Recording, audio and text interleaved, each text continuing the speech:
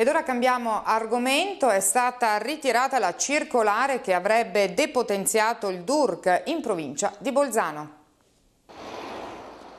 L'ufficio appalti della provincia autonoma di Bolzano a fine dicembre ha diffuso una circolare con la quale si stabiliva che il DURC, il documento unico di regolarità contributiva che devono presentare le aziende, sarebbe stato chiesto solo in occasione della stipula del contratto di appalto e al saldo finale.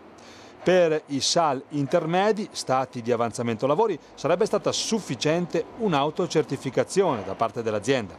I sindacati delle costruzioni hanno duramente contestato la circolare in questione e ne hanno discusso in un incontro con l'assessore Barbara Repetto, competente in materia, che poi più volte in giunta ha sollecitato il ritiro della circolare.